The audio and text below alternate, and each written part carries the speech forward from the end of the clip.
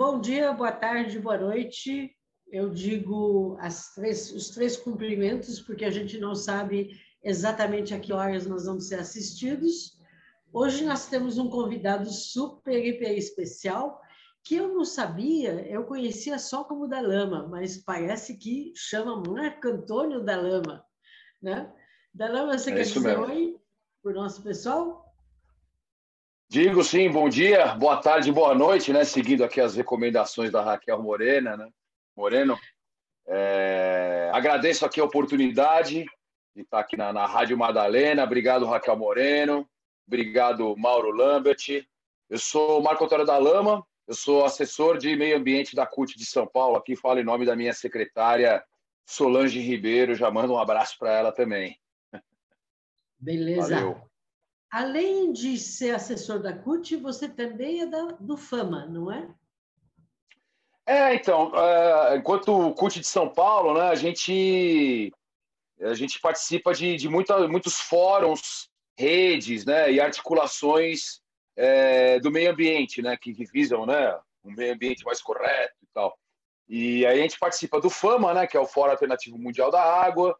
A gente está na coalizão pelo clima também estamos no Fórum Popular pela Natureza, na campanha contra os agrotóxicos e pela vida, e na, na FADES também, né? na Frente Ampla Democrática Socioambiental. Né? A gente vai se juntando com todo mundo aí que der, né?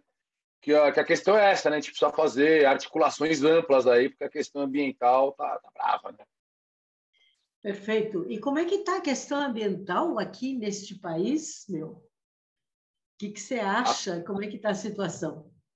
É, rapaz, é, como uma amiga minha disse esses dias aí, né, que é, o mar não tá para peixe, né? O mar tá mais para plástico do que para peixe, né? então, a coisa tá ruim, né? A gente, é, a gente vê aí, né, o, genocídio do povo indígena aí continua, né? Os absurdos que estão acontecendo com, com os Yanomamis, tem o problema né, com os Guaranis Kaiowás lá no Mato Grosso também, entre outros vários problemas com diversas etnias indígenas aí, né? Mais, né? o marco temporal aí que vai voltar, né? Logo, logo está voltando para ser para ser votado lá na STF. É, continua aí com, com Brumadinho e Mariana sem, sem, sem, sem punição aos responsáveis, nem aquele derramamento de petróleo que teve lá no Nordeste também. Ninguém foi, foi achado, ninguém foi punido. E Continua também liberação recorde, uso e liberação recorde né, de, de, de agrotóxicos, um monte de veneno aí proibido na Europa, proibido na China, proibido no, no, nos Estados Unidos, né? Os pessoal mandando para cá aí, envenenando todo mundo, índices cada vez maiores aí de, de devastação na, na, na Amazônia, no Cerrado, Pantanal, e agora na Mata Atlântica também, né? Saiu um estudo aí, né? Que a, o desmatamento na Amazônia, na, na, na, Mata Atlântica, cresceu pra caramba também. O pouquinho de Mata Atlântica que resta, o pessoal não dá trégua, né? Entre outros vários problemas, né? O esvaziamento da política nacional de resíduos sólidos, várias ameaças vindo aí, né? Como aquele novo marco regulatório da mineração, que coloca a mineração, os interesses da mineração sobre todos os outros interesses, né? É, o próprio marco do saneamento, né? Que, que que ele, como é que se diz, ele incentiva a privatização dos sistemas de, de tratamento de água e esgotamento sanitário, Brasil afora. A gente sabe que, não, que, que a privatização não é a solução, né, para os nossos problemas, tanto ambientais quanto sociais e econômicos também, né, e, e outras questões vindo aí, né, é, aquela a, eles chamam de flexibilização, né, da, do, do, licenciamento ambiental, que na prática é acabar com, com, com com licenciamento ambiental, sucateamento do IBAMA, ICMBio. Agora estão querendo até privatizar a praia, a caverna, né?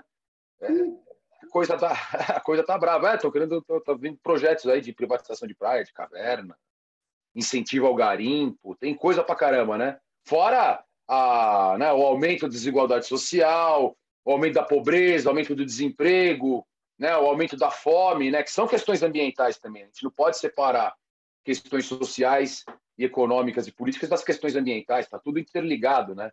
A desigualdade social e a fome é um problema ambiental também, né? Uhum. Então a coisa tá brava, né? Coisa tá...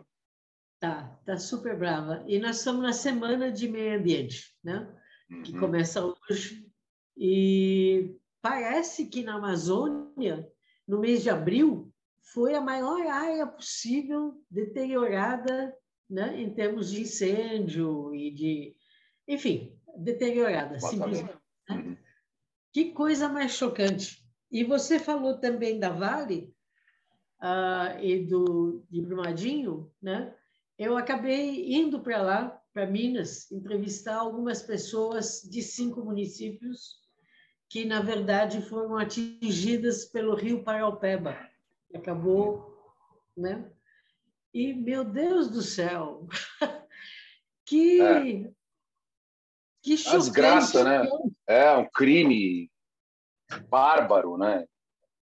E a Vale está fazendo propaganda na televisão, hum, uhum. né? dizendo que está fazendo, está resolvendo tudo, quando na verdade não está resolvendo nada. nada. É, tem até propaganda na internet aí, você entra no, no UOL, entra nos canais aí de internet, tem propagandas falando que o Rio, o Rio Doce está uma beleza, que o Rio Doce está uma maravilha, né? Mas a gente sabe que não é bem isso, não, né? Os Krenak estão lá, né? Sem poder pescar, sem poder né, plantar as margens do rio, continua, né? É o greenwashing, né? É o greenwashing que a gente fala, lavagem verde, né? Os caras colocam um rótulo né, de, de sustentabilidade verde, mas é só propaganda. A grande maioria dessas propagandas aí, dessas, dessas é, peças publicitárias aí, dessas empresas é só propaganda, não tem nada de, sustenta, de sustentável, sustentabilidade, né? É chocante mesmo. É mesmo. Bom, mas uh, no dia 3 de junho está previsto uma manifestação no vão do MASP, né, em São Paulo. Uh, a que horas mesmo que começa? 18 horas? É, é isso mesmo. É, 18 horas, é sexta-feira agora. Já aproveito, já vamos convidando a todos e todas e todos que estiverem aí ouvindo. É, a concentração é às 18 horas, né, lá no, no, no MASP, né, na Avenida Paulista. Mas a gente vai ficar na concentração, a gente vai sair de caminhada mais ou menos umas sete, sete e meia, né? Então, quem estiver saindo do trabalho aí, dá tempo de, de, chegar lá na Paulista e pegar a caminhada. A gente vai fazer a caminhada até a Praça Roosevelt, né? Na sexta-feira, dia 3. Sim. E parece que vocês botaram em votação também qual o slogan que ganharia, né? Qual uhum. foi o slogan que ganhou? ganhou aquele o slogan que já estava sendo utilizado né, pelas outras manifestações lá do, do da coalizão pelo clima, da, do Fridays for Future, né, que é o pessoal lá da Greta, tal, né, que é floresta de floresta em pé, fascismo no chão, né? É um bom, é um bom, é um bom slogan. A gente gostou de, de manter. E acho que é legal, né, manter a, o mesmo slogan, a continuidade em relação aos outros atos de meio ambiente que tiveram as manifestações a favor, né, da defesa do meio ambiente que tiveram antes, né? É legal manter, né? Uhum. É legal manter. É super legal manter. E como também seria super importante manter um curso de educação ambiental em todos todos os graus de escola, né? Uhum. Porque é como se a gente uh, pudesse esgotar a natureza porque ela é inesgotável, né? Uhum. E não faz sentido, né? A gente tem que repor, tem que preservar, tem que conservar, né? De sim, sim, sim, sim. É, então, a gente discute bastante isso, né? O, o a CUT e o Sindicep tem tá, tá fazendo um curso atualmente, né? Um curso online de, de meio sim. ambiente. Ah, o Fórum Popular da Natureza também tem a Escola Popular da Natureza, que vira e mexe, eles lançam vários cursos. Agora vão fazer um curso em, em conjunto com a campanha nacional é, contra os agrotóxicos e defesa da vida, defesa da vida, né? Vamos fazer um curso em conjuntos, né, sobre a questão do agrotóxico aqui no Brasil. É, mas a gente precisa de uma iniciativa, né, de, de, de, educação ambiental nas escolas, né, no ensino fundamental e médio aí pesado, né? Pesado, porque acho que além de, de a gente ter que protestar, ter que lutar por ações coletivas, né? A gente precisa tomar parte nisso também, né? A gente precisa saber onde que a gente está, né? Tanto tem aquele cálculo da pegada de pegada ecológica, cálculo, uhum. cálculo da pegada ecológica, que ele, que ele vai somando todas as tudo que a gente consome, né? Tudo que a gente retira da natureza, né? Seja na mineração, seja na extração de, de, de, é, florestas, na agricultura. e, e tudo que a gente polui, né? E aí, ele, nesse cálculo, ele diz, ele diz que a gente, no atual estágio de consumo da humanidade, a gente já gasta recursos naturais equivalentes a 1,6 planetas Terra. Isso quer dizer, a gente já gasta mais do que o planeta é capaz de repor. A gente arranca né, recursos naturais da natureza, arranca, arranca né, árvores, plantas, minérios, água, e a gente depois devolve um monte de lixo, né? Lixo, esgoto, emissões atmosféricas, né? A gente joga fumaça, a gente polui os rios, a gente é, contamina o solo e aí a natureza não tem. É, a, gente, a, gente, a gente extrapolou a capacidade de recarga da natureza. A gente tira coisa mais rápido do que a natureza repõe e a gente suja mais rápido do que a natureza é capaz de regenerar, né? Então a gente já está gastando 1,6 planetas Terra. É como se a gente estivesse gastando é, gastando a nossa poupança, né? Como se a gente tivesse uma poupancinha ali e tal, sem ganhar nada e vai gastando, vai gastando a poupança, chega uma hora que a gente fica sem. E é o que está acontecendo com o planeta, né? É, é o planeta que a gente está deixando para os nossos filhos, para os nossos netos. Né? A gente está gastando uma, um recurso que é deles, não só deles, mas também né, do, do, do, da vida como um todo, né? Da biodiversidade, das plantas, dos animais. É, e é triste, né? Acho que a gente precisa tomar uma atitude, é, conhecer isso, tomar atitudes individuais, tal, reduzir o consumo, né? E, mas a gente também precisa protestar e, e exigir ações políticas e econômicas, macroeconômicas mais fortes também, né? Porque às vezes a gente quer é, consumir menos plástico, mas você vai no, no, no, supermercado e não tem jeito. Você compra aquele monte de embalagem cheio de plástico, cheio de isopor, e você não tem o que fazer, né? Então acho que há outras maneiras de a gente a gente precisa se educar, mas a gente também precisa exigir ações políticas e macroeconômicas mais gentis com o meio ambiente, né? Sim. Com a sociedade. Perfeito. E com o meio ambiente e com a sociedade também, né? Quer uhum. dizer, você falou, você levantou que a gente, o Brasil voltou ao mapa da fome, né? Sim. Uh, é terrível uma situação dessas, né? Onde você tem um número de milionários cada vez mais milionários e o número de pobres cada vez mais pobres, né? Que não uhum. conseguem sequer se alimentar, né? Sim. sim. E, é, saiu. Desculpa, termina ali. Fala, fala, fala, fala. Né, que saiu esse relatório da Oxfam, né? Saiu um tempo atrás aí, alguns meses, né? 1% da humanidade dos super ricos tem mais dinheiro do que 99% do, do restante da população, né? Que somos nós, né? 1% tem mais dinheiro, mais recursos, mais grana do que os 99% do resto da população. E aí tem outro dado que fala que oito bilionários, né, os oito mais ricos, os oito super ricos mais ricos do mundo, têm mais dinheiro do que os 50% da população mais pobre. Caramba, oito caras, né? Você conta, né? Um, dois, três, até oito, oito caras têm mais grana do que os 50% mais pobres da população. Dá para falar em sustentabilidade de um jeito disso daí? Não dá para falar em sustentabilidade com relação a isso. E esses caras, esses são os caras que mais né, que mais gasta água, polui água com suas empresas, né, com seus, seus conglomerados, são os caras que mais emitem é, gases de efeito estufa, são os caras que, que, que, né, que, que arregaçam a natureza com, com, mineração. Esses caras são tudo dono, né? Esses grandes conglomerados, né? Donos de, de, de fábricas, de, de, de, mineradoras, né? E, então são esses caras aí que que pegam toda a nossa grana, né, eles concentram tudo nas mãos dele, nas mãos dele, e não, não contentes em deixar o povo sem dinheiro, passando fome, desempregado, os caras ainda arregaçam a natureza, né? Uhum. É difícil, né? O capitalismo aí, o capitalismo nunca vai ser verde, não tem jeito. O capitalismo não vai ser verde. Não existe capitalismo verde. Não vai ter vez mesmo, não vai ter é. vez. Agora, me conte, uh, quem é que está organizando esse ato no dia 3 de junho? É, então, o ato ele é um ato amplo, né? A gente tem diversas organizações aí que, estão apoiando e, e, construindo em, em conjunto, né? Fórum Popular da Natureza, FADS, o MST entrou é, forte também, o, o, próprio MAB, né? O Movimento dos Atingidos pela barra, pelas Barragens, está tá, tá bem atuante também na, na, na, construção do ato. O MAN, né, que é o Movimento pela Soberania Popular, é, na mineração, Fórum Verde Permanente, o FAMA, Coalizão pelo Clima, Jovens pelo Clima, Movimento Nacional dos Catadores de Recicláveis também está tá, tá bem forte junto com a gente, a própria CUT, né?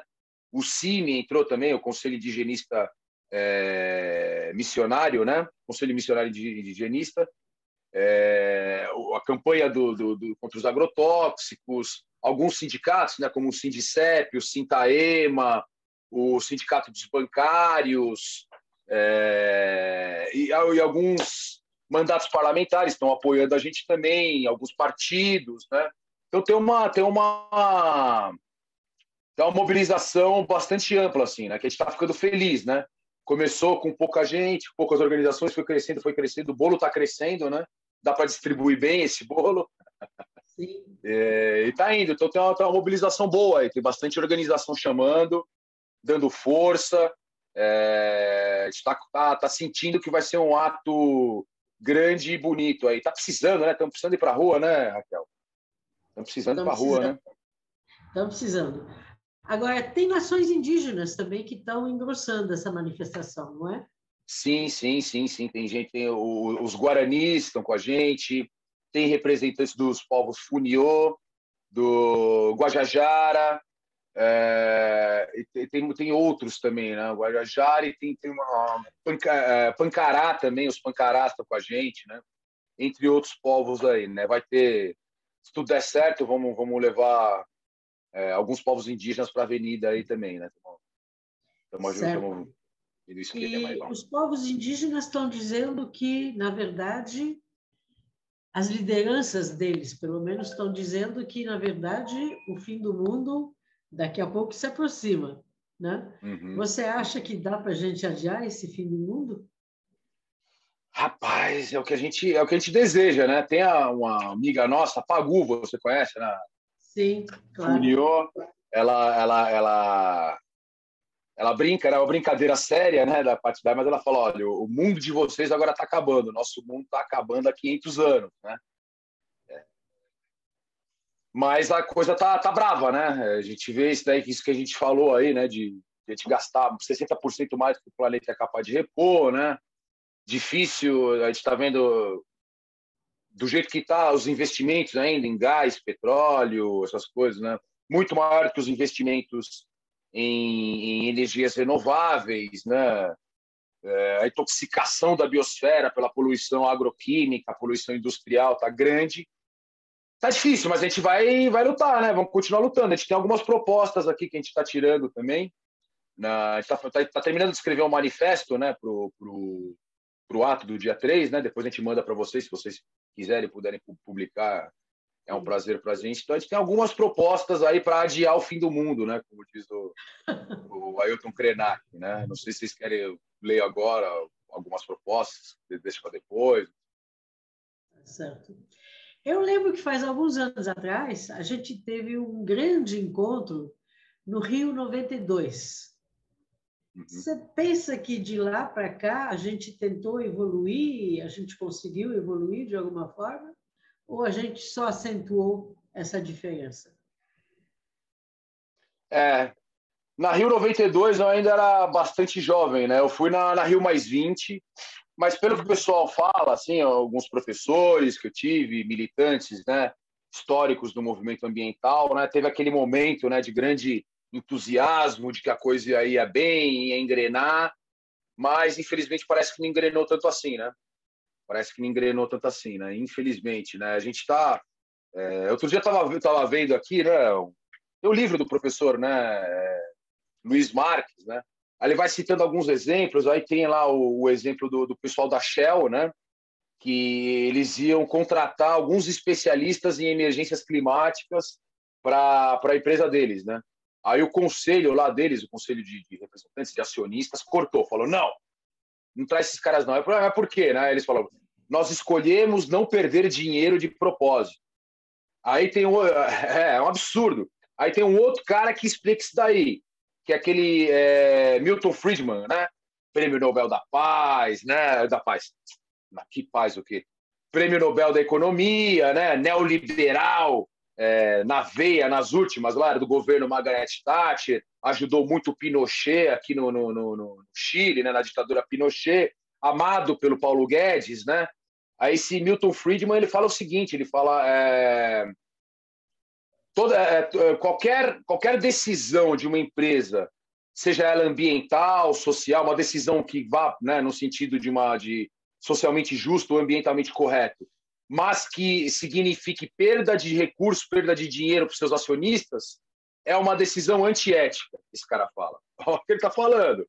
Qualquer decisão ambiental ou social que se transforme em perda de lucros dos seus acionistas é antiética. Então a gente vê, né, o capitalismo é isso. O, o, o, o, objetivo último do capitalismo, né, o objetivo principal é, é, é o acúmulo de riquezas, de lucro, né, e a concentração desse lucro, dessa riqueza. A gente está vendo aí. Concentração de renda aumenta cada vez mais. É, e junto com isso também a, a os índices né, de, de, de aumento de, de, emissões de gases de efeito estufa, de poluição industrial, né, de esgotamento da, de, de, água, de água potável e disponível. Né? Então, infelizmente, a gente não tem muito o que comemorar nessa Semana do Meio Ambiente, não. Né? Na verdade, a Semana do Meio Ambiente é, é uma semana de luta, né? não de, de comemoração. Infelizmente. Uhum. Né? Uhum. E você estava falando também da água, né? E teve recentemente um encontro em Dakar, o um encontro internacional em Dakar, uh, e o Brasil parece que está disposto a privatizar a água na contramão de 18 países que acabaram revertendo o processo porque a água vinha de pior qualidade e muito mais cara, né? Uhum, uhum. Que coisa mais terrível é essa? Pois é. Uh, inclusive, teve um ministro que falou que deixaria passar a boiada, né? Como é, é o que está é acontecendo, né? É o que está acontecendo, né? A boiada está passando aí, né? Essa questão da água aí, o pessoal do Fama está discutindo muito bem, o Edson, né? O Edson Aparecido, o Edson do, do Ondas, do Fama, né? Fez uma, uma, uma palestra para o pessoal lá em Dakar, né? é, contando desse novo, mar, novo marco regulatório do saneamento, né? Que é um marco regulatório que ele facilita a privatização dos sistemas de água e esgoto, né, no Brasil afora, né, e, e, e, ele acaba com aquela, eu esqueci o nome certinho, o conceito certinho, mas ele acaba com aquela lance de investimento, investimento cruzado, né, porque hoje uma empresa que, que detém uma região, né, como é que é? Subsídio cruzado. Tá. Subsídio cruzado, isso mesmo, subsídio cruzado. É. Hoje, uma, se, depois se alguém estiver ouvindo, eu, e pode me corrigir, né? Porque eu conheço, eu conheço esse assunto mais por cima, assim, não tão profundamente. Mas eu vejo que tem aquele, quem, quem, uma empresa que detém uh, uma determinada região, assim, para os serviços de água e esgotamento sanitário de uma região, ele tem que, ele tem que usar uma parte do, do, do, dos, dos lucros dos, do, do, do, das sobras né, de recursos que tem em uma cidade que dá que dá que, que dá lucro para fortalecer o sistema de água e esgotamento de outras cidades que não dão lucro, né? Lucro entre aspas, né? Que não que não dão sobras, né? Que não dão superávit no caixa, né? É, é superávit. E agora isso acaba, né? Então, quer dizer, é, ele, ele, ele facilita a, a privatização, porque ele, ele, ele, ele, ele não dá preferência às, às empresas públicas, né? A continuidade dos contratos com as empresas públicas, né? Ele fala que tem, tudo tem que ter licitação né? aberta para as empresas é, privadas, inclusive empresas estrangeiras, e, e você não tem mais esse mecanismo né? de, de, de subsídio cruzado, né? Então, o pessoal quer ficar, muitas vezes corre atrás só de, de, de locais e grandes cidades que podem gerar lucros né, para eles, né? Porque água para eles é tudo lucro, né? É, não é direito humano. Água, esgotamento sanitário não é direito humano, é lucro, então eles vão atrás desse lucro e deixam abandonadas as outras cidades que não são economicamente tão, tão atrativas, né? Então a questão é essa: quando se trata a água como lucro e não como, como mercadoria e não como direito humano, a gente vai ver isso. E, e, e conforme a gente estava falando, né, que o objetivo né, das empresas capitalistas é sempre o aumento da concentração de riqueza, né?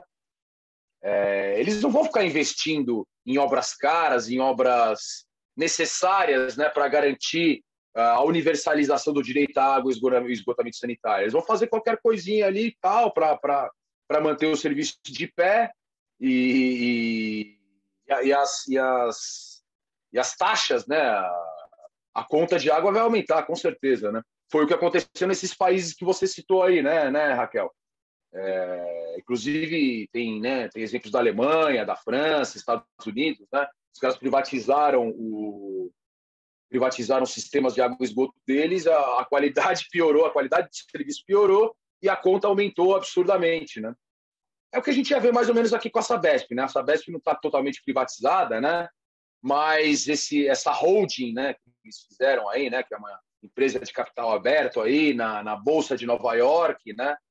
É, vai mandando dinheiro para os seus acionistas em vez de fazer é, as obras necessárias aqui para por exemplo, mais estações de tratamento de, de, de esgoto, né?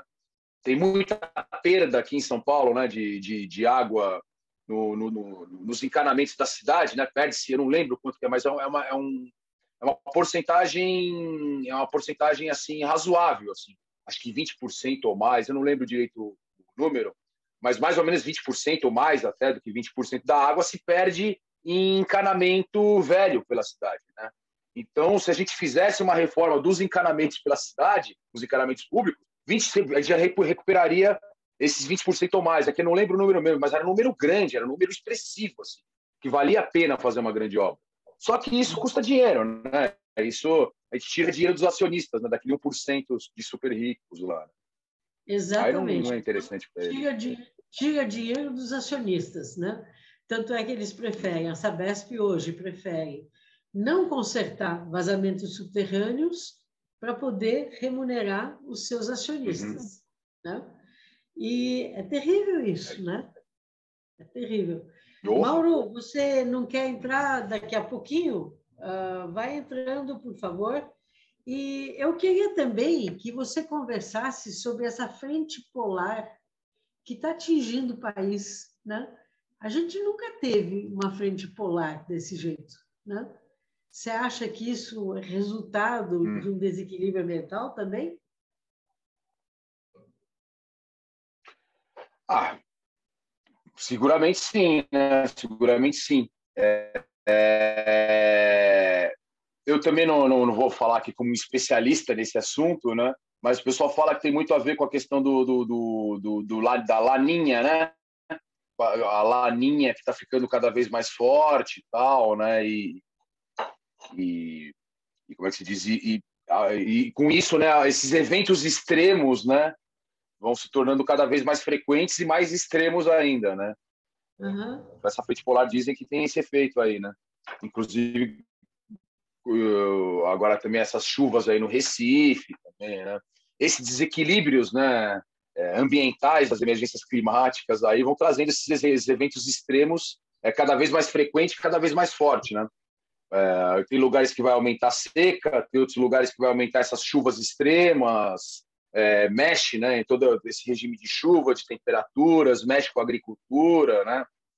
É, é terrível, né? Terrível. Mexendo com a agricultura, tem locais que produziam, por exemplo, milho muito bem, aí começa a mexer nessa pressão atmosférica, regime de chuvas, de ventos, de temperaturas, aí acaba não tendo mais aquela cultura, é, aquela tipo de plantação naquele lugar e é algo que pode é, já está gerando né fome né desespero guerras etc e a palavra da moda é commodities né?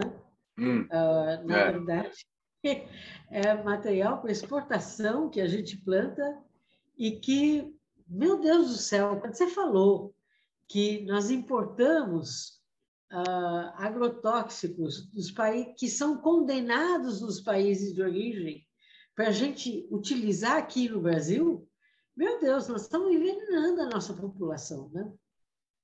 E além de envenenar a população, tem inclusive uh, a merenda escolar que antigamente servia para a criançada conhecer os produtos, de onde eles vêm, uh, mudar de hábitos alimentares, enriquecê-los, né? Na verdade, eles estão tendo algumas escolas que estão recebendo diretamente, né? E que compram bolacha, que é o que a criançada consome tranquilamente, né? Então, meu Deus do céu, não tem, não tem mais essa essa diversificação do repertório, né?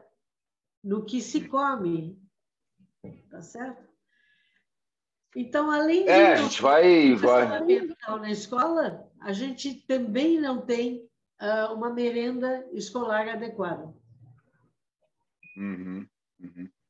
É, parece que uma, uma das primeiras ações do governo Temer, né, depois do golpe de 2016, foi acabar com aquele com o programa de, de, de apoio aos pequenos agricultores, né, familiares, né, é, acabando com, com, diversos projetos, né, de, de, de, de, merenda escolar, né, projetos de merenda escolar orgânica, né, é, depois vem, né, a PEC do teto dos gastos, né, que vai limitando gastos não, né, que eles chamam de gastos, nós chamamos de investimento, né? Então eles vão limitando esses investimentos em, por exemplo, em merenda escolar, né? E vai empobrecendo tudo, né? Vai empobrecendo. Você é isso, eles tinham um prato, né, de arroz, feijão, carne, verduras, legumes, se transforma em pratinho de, de, de bolachinha com, com leite em pó, né? É, envenenando a criançada, trazendo, né? É, alimentos de menor valor nutricional né, e, e, de saúde, né? É um tremendo problema. E tem mais uma questão também nessa questão dos agrotóxicos aí, ô, Raquel, que você deve hum. conhecer, né? Que além de tudo, além de a gente ser o Brasil o maior consumidor né, de, de agrotóxicos no mundo, a gente já falou um monte de agrotóxicos proibido no resto do mundo, e esses agrotóxicos têm uma isenção danada de PIS e COFINS é possível. O COFINS é aquele é o é o imposto que banca a seguridade social, né? Banca a seguridade, né? Banca a assistência social e banca a saúde pública, banca o SUS. Então quer dizer, a gente importa um monte de veneno, a gente a gente é, envenena a nossa população, envenena nossos trabalhadores e ainda por cima esses venenos não pagam imposto da saúde pública. A gente gera pressão sobre o sistema único de saúde sobre o sistema de saúde e esses caras que geram uma pressão grande sobre o sistema de saúde não pagam impostos da saúde. É uma, é uma desgraça, sabe? Seria cômico se não fosse trágico, né? Porque é uma palhaçada isso, né? É uma grande palhaçada. E, mas tá aí, né? É muito louco isso. É, são coisas absurdas, assim, do arco da véia, como dizem, né? que estão aí dadas, né? Por isso vamos às ruas, né? Perfeito. E o que, que se espera em termos da manifestação do dia 3 de junho? Vai ter uma continuidade? Vai ter uma demanda específica? Vai ter. O que é que vai ter? Ó, é... acho que o maior ganho, um dos grandes ganhos dessa manifestação é a gente retomar as ruas. Tá, é, é a gente está num, num momento diferente, assim, vamos dizer, né? Momento meio diferente da nossa história, tá, tá um pouco difícil de, de, de mobilizar o pessoal para as ruas. Acho que depois da pandemia, né, a gente ficou numa dinâmica social diferente, assim, né? É, temos chamado diversas manifestações de outros campos, né? Em que o retorno não tem sido tão grande assim, né? As pessoas estão ainda tão receosas de sair às ruas, né? É, essa manifestação de, de sexta-feira, esperamos e, tem, e a gente está tendo alguns indícios bons, né? De que vai ser uma manifestação razoável. Assim. Eu não vou dizer, não vou chutar que coisas vão ter, mas é, pelo, pela, pelo arco de, de articulação que a gente está fazendo, assim, e pelas respostas que a gente está tendo da, das, das, entidades, das organizações, dos grupos, né? É, que estão participando, dos coletivos e tal, é uma vai ser uma manifestação interessante, vamos dizer assim. Né? E, e, e dessa manifestação também está saindo uma articulação bem ampla, né? de muitas organizações, grupos, entidades, movimentos, coletivos, pessoas. E a ideia é a gente manter essa articulação, né? A ideia, né? Claro que um passo de cada vez, né? Um passo de cada vez. Vamos fazer agora a manifestação na sexta-feira e aí depois a gente conversa para uma próxima, quem sabe, com outros tipos de articulações, né? O Fórum Popular da Natureza tinha essa, tem essa, essa, esse objetivo, né? de ser uma grande rede de articulação entre diversos movimentos, pessoas, grupos, redes, que atuam em diversas é, áreas do meio ambiente, né? Porque o meio ambiente é uma, é uma gama muito ampla né, de assuntos. O que a gente está falando aqui? A gente está falando né, de, das emergências climáticas, é uma questão, a questão da água, né, do acesso à água potável e disponível é, é outra questão, a questão dos agrotóxicos é outra, a questão dos parques, por exemplo, aqui em São Paulo, estão privatizando os parques estaduais da desconservação, tem o pessoal do, do, do Rei de Nossos Parques que está lutando contra isso, essa é outra questão, é, a questão da poluição industrial é outra, a reforma agrária, então a transição justa para os trabalhadores, né? Então tem vários assuntos, várias questões, várias correntes, várias linhas de ação, né? É, do meio ambiente que a gente precisa se encontrar, né? Em determinados momentos, né? Claro, cada um com a sua bandeira, cada um com a sua pauta, né? Específica, mas a gente se conectando para fazer uma luta maior. Acho que cada essa luta maior apoia as partes, né? né? Esses diversos, essas diversas lutas específicas do meio ambiente e essas diversas lutas específicas do meio ambiente apoia uma, uma luta maior, né? Uma luta mais interconectada, né? E a gente tem uma uhum. pauta aqui também. A gente tem uma pauta. Posso ler a pauta aqui? Por favor. Ah, então, tô lá. Tá, tá saindo do manifesto que a gente está fechando, né? Então está aqui. Lutamos por um novo modelo de desenvolvimento de baixo impacto que preserve a biodiversidade, que mantenham as florestas de pé, que mantenha as florestas de pé e que acabe com a poluição industrial, mas também um modelo de desenvolvimento que ataque as desigualdades sociais. Lutamos por uma transição ecológica justa, baseada em taxações financeiras e investimentos estatais e multilaterais para a requalificação dos trabalhadores e trabalhadoras, para o desenvolvimento de novos processos de produção ambientalmente mais corretos, para a transferência de tecnologias mais limpas aos países em desenvolvimento, para a criação de fundos de proteção social para uma vida decente em todas as áreas.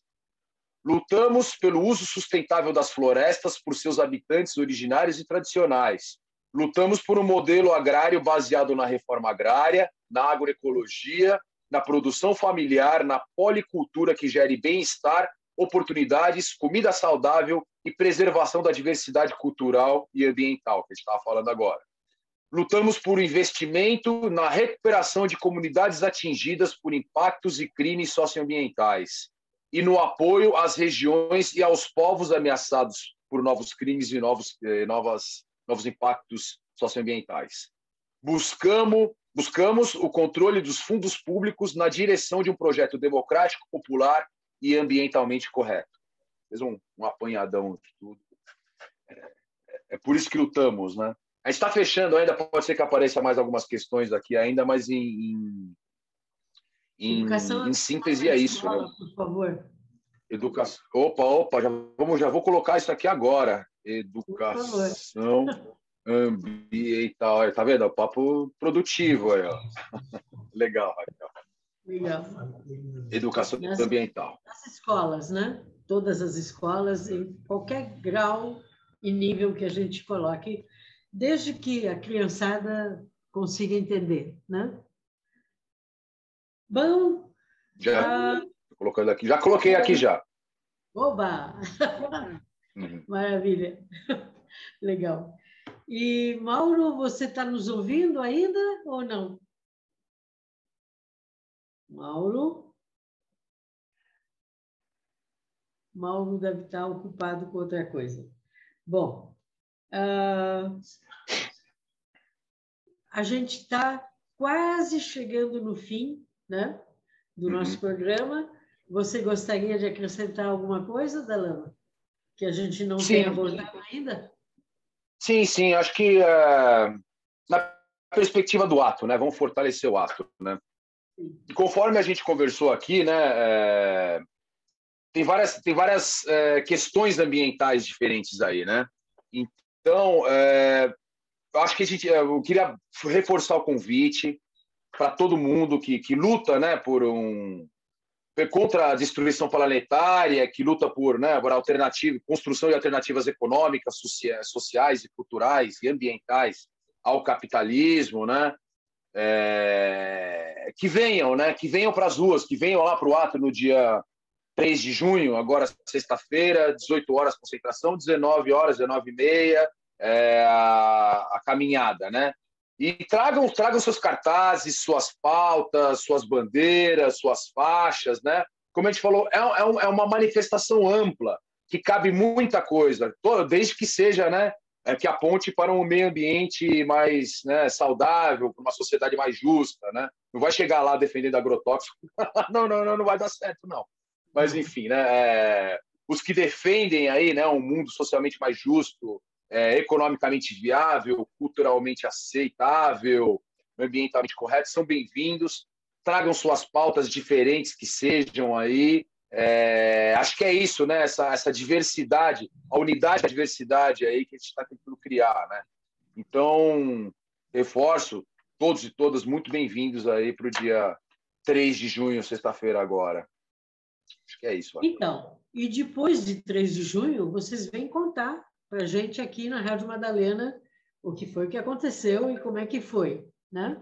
Como é que foi o ato. Uhum. Então, vocês já estão convidados, tá? Maravilha, ah, maravilha. Ok.